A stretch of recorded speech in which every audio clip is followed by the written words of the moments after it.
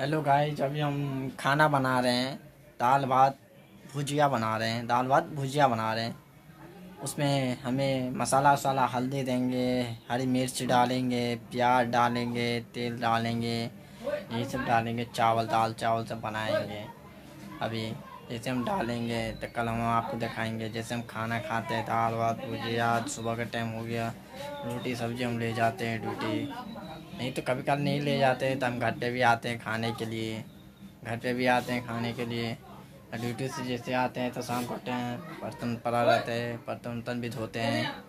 बर्तन वर्तन धोने के बाद फिर हम खाना वाना बनाते हैं। देखो, जैसे हम जैसे हम खाना बनाते हैं, वैसे हम दिखाएँगे आपको। देखते जाइए। हमारे सब्सक्राइबर दबाना हमारे चैनल ना भूलें। उसे भी दबाइएगा। हम बहुत गरीब परिवार से हैं सर अगर आप लोग नहीं रिक्वेस्ट करेंगे, हमें हमें भी हौसला हारना पड़ जाएँगे। इसलिए हम दिखा रहे हैं आपको, देखिए। अभी हम गैस पर जा रखे हैं। हम हम गैस पर जा रखे हैं। ये हो गया भुजिया हमारा। ये भुजिया हो गया। उसमें चावल वाला रखा हुआ है सुबह का।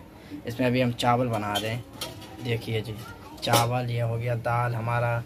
दाल भी बनाए हैं। चलिए हम, आप लोग जैसे आप देखेंगे, आप लोग का हम, आप लोग का हम क्या करें? आप लोग आप लोग का पैर छू के प्रणाम करते हैं। आप लोग को भोले बाबा रिक्वेस्ट करें। आप सबको आगे बढ़ने के चांस दीजिए। आगे बढ़ने के चांस दीजिएगा, सबको हो जाएगा। जैसे हो गया, हमारे मनोज भैया थे। अभी एक और ब्लॉक में मतलब एक जने और एक लड़का है। मतलब यूपी का है वो भी हिट हुआ है। उनको भी हम बात कर रहे हैं। वो भी बहुत करीब पालोवार से हैं। तो जो उसका भी घर जो था छाजन बत्ती का घर था। उसका भी टाट फरगी से सास का घर होते हैं, वो उसका वैसे घर था, उसका भी। चलो हम इस ब्लॉग में हम बना के हम दिए हैं। चलते हैं आप हम रिक्वेस्ट करते हैं।